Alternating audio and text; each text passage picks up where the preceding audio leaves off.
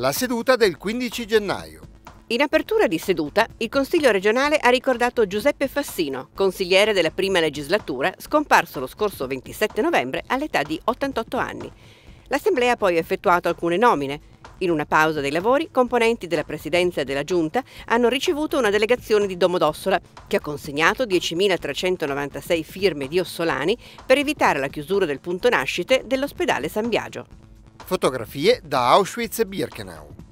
La mostra Fotografie dal campo Auschwitz-Birkenau 2012 presenta le immagini fissate da Bruno Abbiamino, l'entrata del campo, le torrette di guardia e il filo spinato, i luoghi della morte, la desolazione delle baracche, il senso di solitudine e abbandono che cela gli orrori del nazismo e il tragico destino delle vittime dell'Olocausto.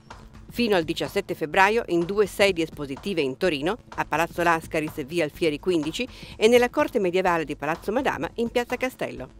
Premio Piemonte Mese. Il 16 gennaio a Palazzo Lascaris si è svolta la cerimonia di premiazione della sesta edizione di Piemonte Mese. I giovani scrivono il Piemonte.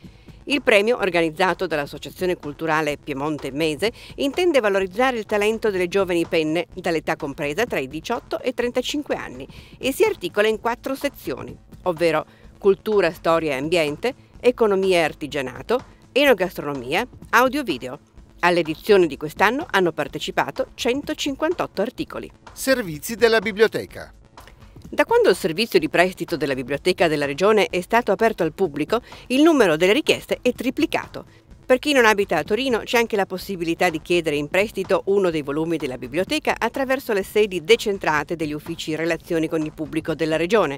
Sono nove in tutto il Piemonte, uno per capoluogo provincia più quello del Consiglio regionale a Torino in via Arsenale. Per informazioni biblioteca-cr.piemonte.it telefono 011 57 57 371.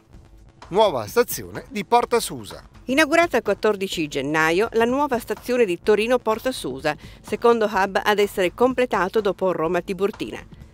Alla cerimonia erano presenti le massime cariche del governo nazionale, i vertici della regione, giunta e consiglio, della città di Torino, del gruppo Ferrovie dello Stato e le autorità civili e religiose piemontesi. Dopo la cerimonia è stata svelata nella galleria centrale la stele con inciso il decreto fondamentale dell'8 febbraio 1848, base dello Statuto albertino.